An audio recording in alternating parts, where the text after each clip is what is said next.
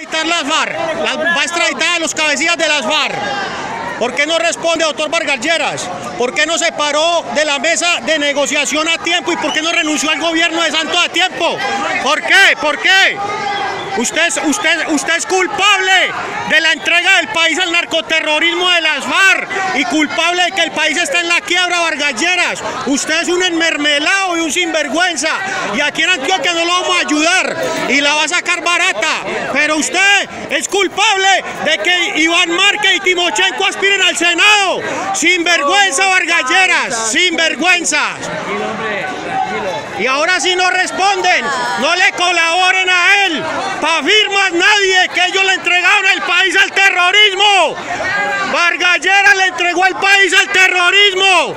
Y como ve que Juan Manuel Santos está caído, ya se le salió del barco. Se salió del barco Vargalleras. Se le salió del barco. Maestro, no me, no me atraviese porque nos vamos en la mula, hijo de puta, usted y yo. No se ha degenerado. A mí no me venga a mariquear. Maricón. Fuera de aquí, fuera. Todos estos degenerados que le entregaron el país al terrorismo, Vargalleras.